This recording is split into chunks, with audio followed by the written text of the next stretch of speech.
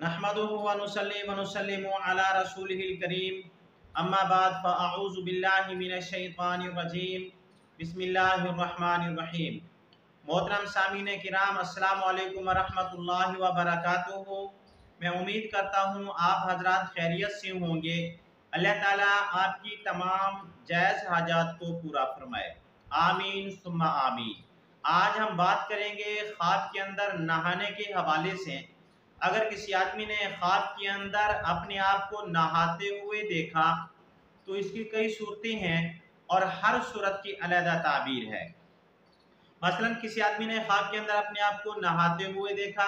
या किसी आदमी ने ख्वाब के अंदर तालाब के अंदर अपने आप को नहाते हुए देखा, किसी आदमी ने ख्वाब के अंदर साफ़ पानी से नहाते हुए देखा, या किसी आदमी ने ख्वाब के अंदर गंदे खराब पानी से नहाते हुए देखा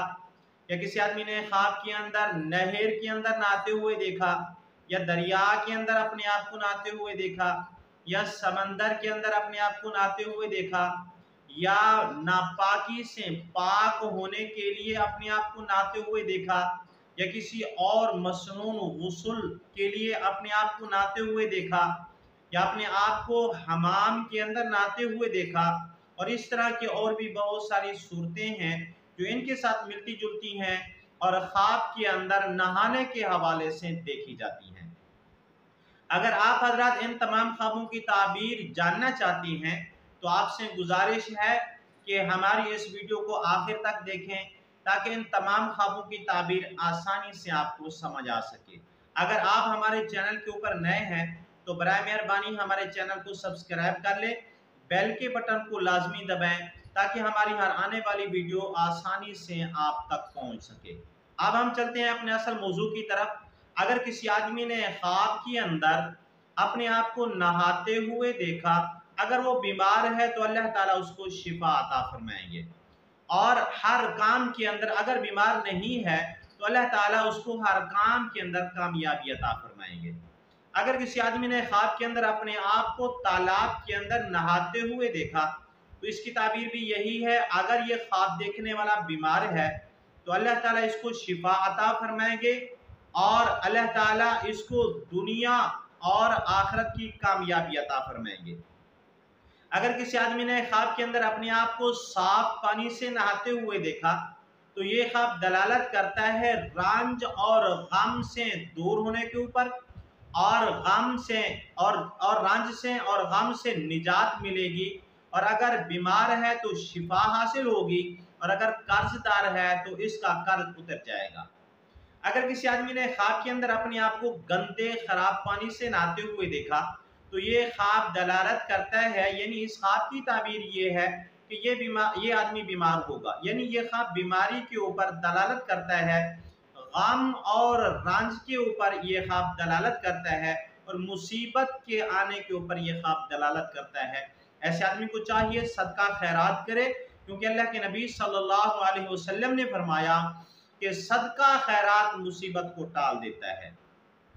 अगर किसी आदमी ने ख्वाब के अंदर अपने आप को नहर के अंदर नहाते हुए देखा तो इस आदमी को इज़्ज़त मिलेगी, मकाम मिलेगा, और अगर तालीम याफ्ता है तो इसको सरकारी नौकरी मिलेगी और अच्छे अहदे के ऊपर फैज होगा। अगर किसी आदमी ने ख्वाब के अंदर अपने आप को दरिया के अंदर नहाते हुए देखा तो अगर ये आदमी बीमार है तो इसको शिफा मिलेगी। और अगर ये कारोबारी आदमी है तो इसको कारोबार के अंदर तरक्की मिलेगी, फ़ायदा मिलेगा।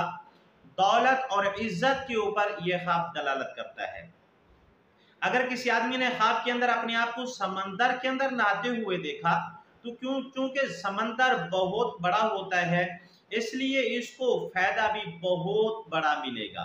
अगर किसी आदमी ने ख्वाब के अंदर अपने आप को नापाकी से पाक करने के लिए नहाते हुए देखा